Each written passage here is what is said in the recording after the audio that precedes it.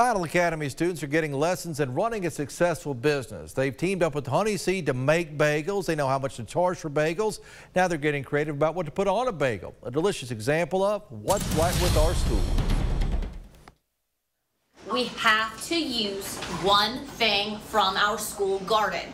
That could be any of it, right, Jean? Here we are at Battle Academy. We are finally on our final day of the design process. So we've already had um, uh, Mr. Robert come from Honeyseed to talk about the entrepreneurial business side of it. Uh, we've also had Chef Eric come and work with the students as they are designing their bagel flavor. And now this is the day where they get to create the cream cheese flavor that will accompany and complement the bagel flavor that they have previously made. Cooking Up Learning and this CHOP challenge uh, with partnership of Honeyseed is super important because of the fact that it gives kids a chance to see a real world problem, see a real world uh, life and business, and truly apply it to an elementary scaled level. Today, as they are taking this final step in the design process, students are taking that extra layer of creativity as they push forward, uh, thinking about the prior flavors, the add-ins into their bagel um, design, and then fully encompassing this creativity while we include a garden ingredient. We're trying to crunch up the um, cinnamon roll, um, the, not the cinnamon rolls,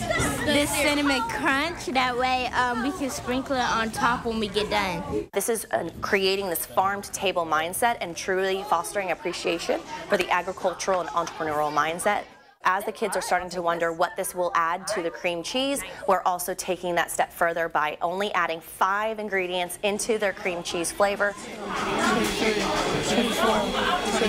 and seeing how well the flavors mingle and balance. So if I if I do two halves, how much is that? As the students are wondering how much of a particular ingredient they need, we are still incorporating those math standards that are expected on a real world scale. Uh, so as students are wondering if they need a teaspoon, uh, what if I didn't have the proper measuring tool in front of them, I would wonder how many of these teaspoons would they need? One, count with me. If they needed um, two fourths, what is that also equivalent to? That's one half. So it really pushes that balance. We, I think we need to mix some more because we have added um, we have added some cinnamon, some sugar, and some water. Kids are super excited uh, as they are trying to aim for the top prize. Now, the top prize, of course, is not only the bragging rights, but also to have their bagel and cream cheese combination sold at Honeyseed for the entire week. Uh, this is going to showcase their pride, their creativity, and that teamwork that we try to harvest here at Battle Academy, and also to really give them the chance to say, wow, we actually did this.